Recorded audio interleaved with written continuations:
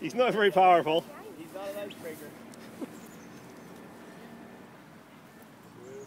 No shovel in front of his mouth.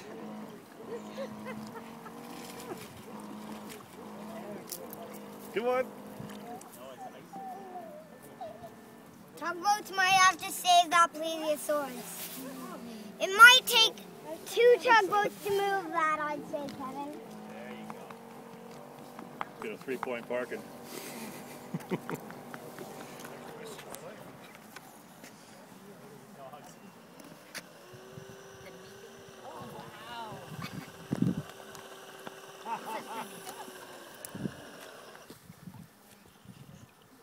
Oh, he's gonna come right to. It's supposed to.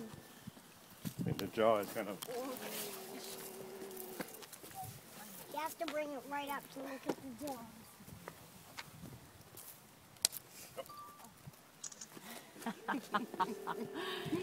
Jaw. She seems a little calmer with this one. Does it have a roar?